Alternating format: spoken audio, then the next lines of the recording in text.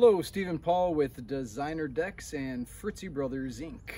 Today I'm going to let you know what tools you should be using for your deck building project.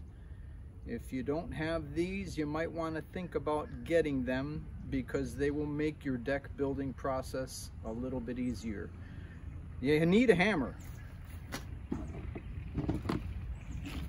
a tape measure, you always need a tape measure.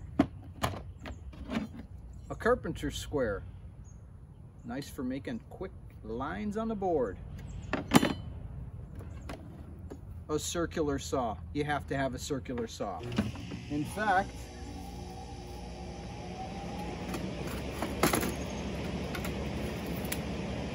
you should have a nice new blade for your circular saw.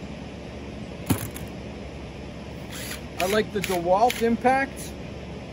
Make sure you have a second battery and a charger.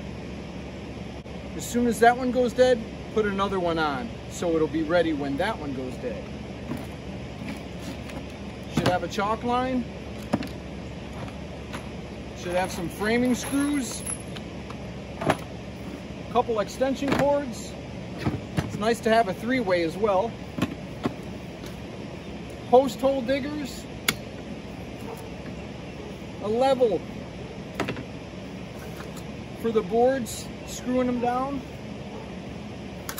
You should have a screw gun with plenty of screws or a nail gun. For the chalk line, you might want to have some extra chalk. And always,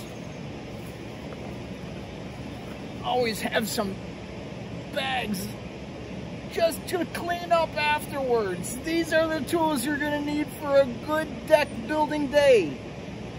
Don't forget to click the like button, make a comment, subscribe to Fritzy Brothers Inc.